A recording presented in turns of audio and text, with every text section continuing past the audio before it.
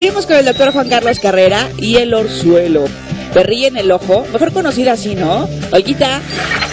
Ya le quitaste el misterio, mi querida Carla, a toda la entrevista. Yo iba a decir, usted le ha dado un orzuelo y ya dijiste que era una perrilla, pero bueno, Ya vámonos, va. lo bueno es que estamos contigo, mi querido Juan Carlos, y ay, cómo, cómo, mol- cómo son muy molestas las perrillas. La verdad desconocemos si es por un enfriamiento del ojo, si es por una infección, si es por, a lo mejor se talló uno con las manos sucias. Hay tanto que decir, porque hay muchos mitos acerca de cómo curarlas también, Sí, bastantes, bastantes. ¿Cómo estás?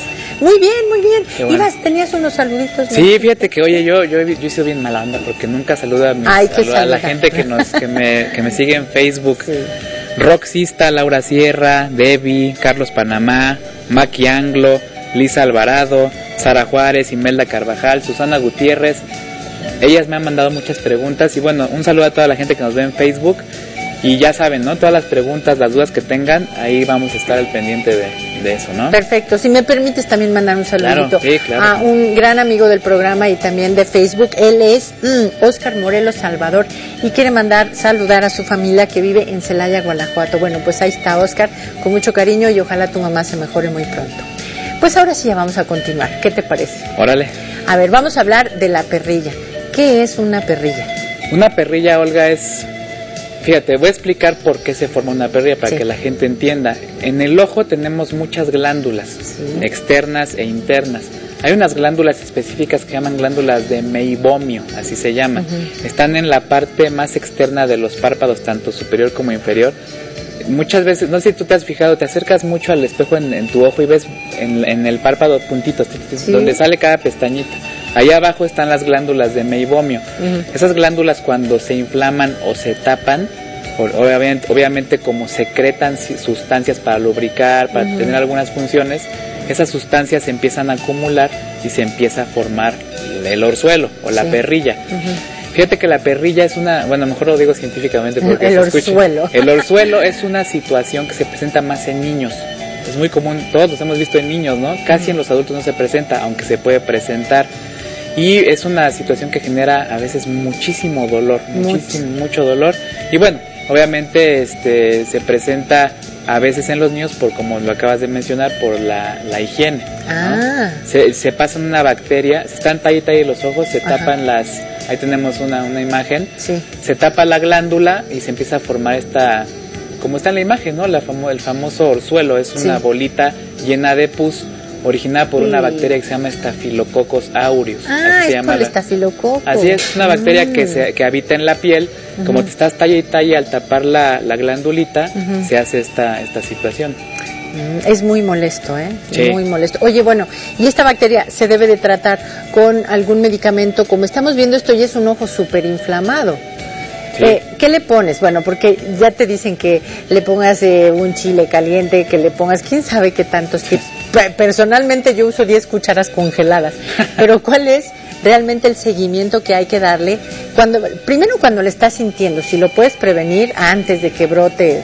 Exactamente, ¿Todo primero esto? hay que basarnos, como acabas de decir, en los Ajá. síntomas. Ajá. O sea, el, el, el orzuelo es una situación que dura más o menos de una a dos semanas. Empiezas con la sensación de cuerpo extraño, te empiezas a tallar, empieza a crecerte la, la bolita, El orzuelo. ah, el orzuelo, Ajá. empiezas a tener sensación de calor, Ajá. sensación de comezón Sí. en, el, en el párpado.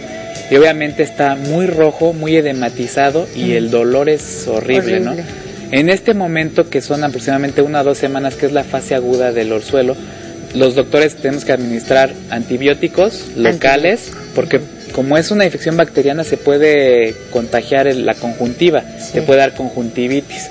Podemos administrar antihistamínicos, Ajá. que son medicamentos que te quitan la comezón, y podemos administrar antiinflamatorios.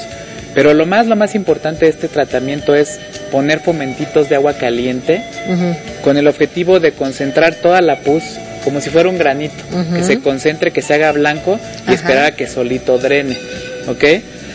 Después, de- si esto continúa, se forma algo que se llama chalación. El chalación, en una imagen por ahí lo teníamos, el chalación es igual, la, la misma bolita, ya sin datos de inflamación, Sí. pero es ya más como un quiste que ese se tiene que quitar ya con cirugía, Qué barbaridad. ¿ok? Ajá. Ahora me preguntabas qué no hay que hacer, ¿no? Que no hay que decir.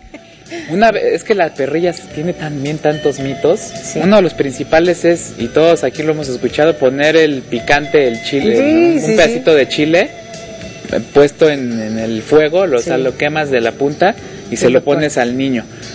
Esto es agresivo porque pues le puedes, o sea, imagínate. Bueno, donde le entra el entre- picante al ojo. Imagínate, ¿no? Es, es, es horrible.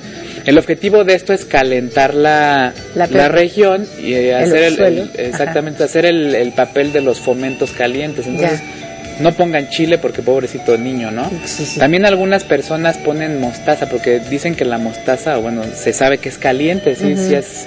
Algunas personas incluso la usan para bajar la fiebre porque roba el calor. Ajá. Entonces la pones, pero imagínate que te entre mostaza al ojo No, también. bueno. Entonces obviamente eso genera calor y genera que el orzuelo vaya em, drenándose, Ajá. ¿no? Pero no, no pongan nada de estos remedios caseros que pueden ser un poquito agresivos, son solamente... ¿Y mis cucharas congeladas qué? Oye, lo que pasa es que el frío Sí. detiene el proceso de inflamación. Entonces lo que haces en este caso es... mm, se puede desinflamar la perrilla porque Sí. no estás haciendo que se concentre toda la pus ahí. Entonces puedes detener el proceso, pero no estás este, curando esa situación. Claro. Pero sí se puede desinflamar, ¿eh? Lo que, lo que supongo que debemos hacer es llamar a nuestro médico o asistir a una farmacia donde hay un médico y que nos sugieran alguna pomadita, ¿no? Claro, sí, y, sí. y se quita en cuánto tiempo. Más o menos en dos semanas. Dos semanas. Y si no se quita, Ajá.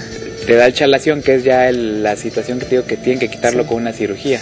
¿Y qué es lo que definitivamente no debemos de hacer para que no nos salgan los orzuelos? No tocarnos los ojos Ajá. con las manos Con sucias. manos sucias. Cuando ya nos está dando la molestia, si nos vamos a rascar, hacerlo con mano limpia. Exactamente. Educar a los niños a que estén, este, y, y eso es algo muy importante aquí el señor Millán nos está diciendo, Sí. no exprimirlas, tiene toda la razón, no exprimirlas porque puedes correr toda la infección, Claro. que se me estaba pasando, no las expriman, solito, hay que dejar que drene y con eso es todo. Y con eso es todo así. ¿Sale? Y protegerse puede ser con algunos lentes o algo. Sí, o sea, te proteges del calor, del Sí. sol, este, pero un niño es difícil ahí que... No, bueno, claro, un niño no. pero se sí decirles que no se expriman, eso es... Que, Y que no gracias se por estén el tocando. recuerdo, que no estén tocando. Ay, señor Millán, gracias. Bueno, pues ahora vámonos con Víctor, porque él nunca le ha dado.